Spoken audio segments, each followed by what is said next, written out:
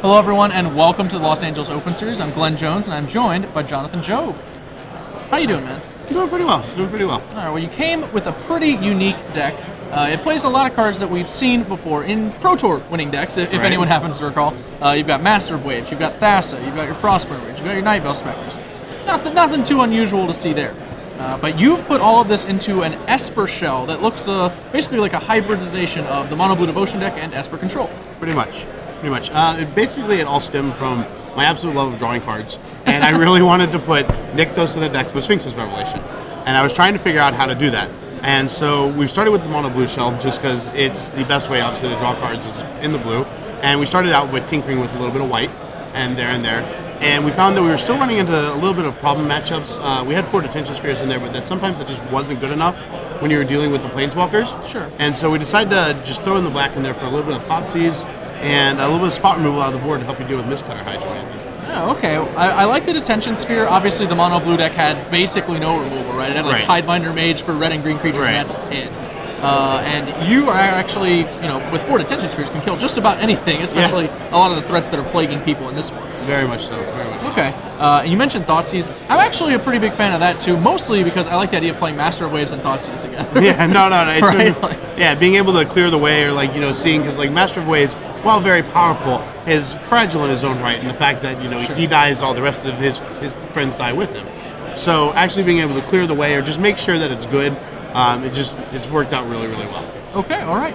Uh, well, shifting gears, the black gives you access to a lot of other stuff as well. Obviously, Right. you're boarding some Doom Blades, Ultimate Prices, that kind of thing. Yep. Uh, that's again an option the mono blue deck just didn't have access to. So you can Right. actually get those aggressive matchups like really under your thumb. You already had Frostburn Weird, so I imagine it's those those decks are just walks in the park at this point. Pretty much, pretty much. The, the aggressive decks are just really easy. Uh, the thing that I love about it is the mono blue mirror matchup is actually just incredibly easy. Just sure. because of the fact that you have access to Thoughtseize, so you can see what their game plan is, and then with the detention spheres to deal with the Bidents, which you know most of the time changes the race a lot, and um, and then a lot of times you also kind of get into this little like top decking war, and I Sphinx Revelation as a top deck, and you know they just are not really there. They draw things like Cloudfin Raptor, which just doesn't exactly cut the mustard. Yeah, all the cards in your deck, you have all the cards that are good in their deck in your deck as well, and then where they have things that are a little. Uh, Right. You've actually replaced it with real magic cards. Exactly. Like Tide, the Tidebinder Mages and Cloudfin Raptors, you have, you know, the spheres and, and whatnot, like you said. Okay. Uh, another ac option that Black has given you is a card Shaheen Soorani's kind of panned recently, but you're sideboarding three copies, and that's Ashiok Nightmare Weaver. So first off, what was Ashiok's role in the deck, and do you still like it?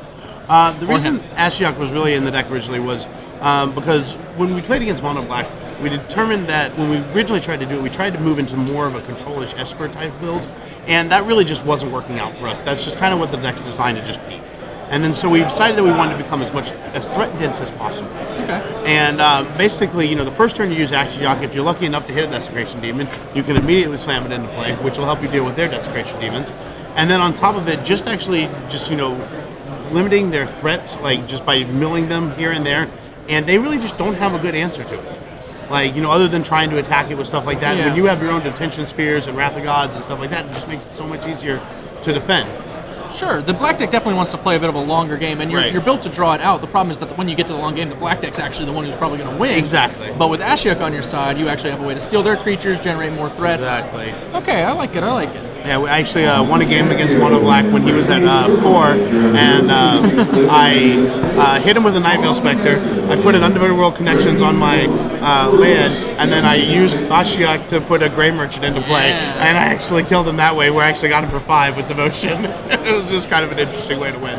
Very nice. Uh, all right. Well, how have you done in the Standard Open so far? Um, right now, I just picked up my second loss, unfortunately. Um, I just, you know, I knew Mistcutter Hydra was going to be a problem coming into the day, Sure. and it just um, playing against Mono Green. I ended up in a board position where I like master Red, not Mono Green, and I had Master Waves out, and I was feeling real confident about it.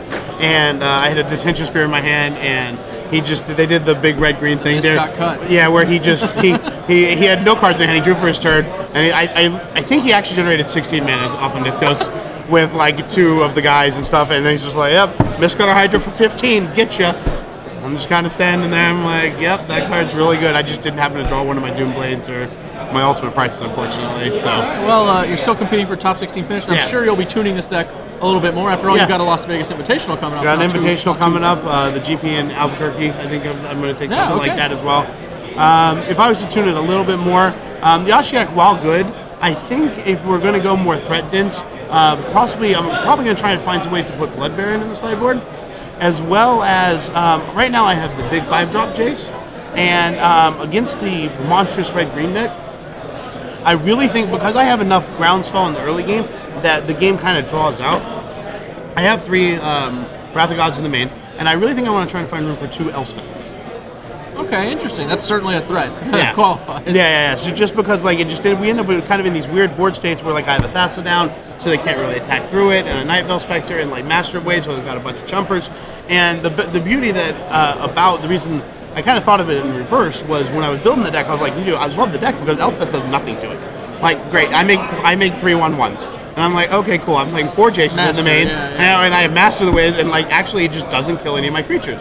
And so I unfortunately didn't playtest them for the tournament, and I didn't put it on the flip side where it was, oh well, I could play Elspeth because it actually has no negative impact on my deck. All right. Uh, well, I look forward to seeing the evolution of this build. Uh, good luck in the remaining rounds of the standard. Thank you, Glenn. Yeah.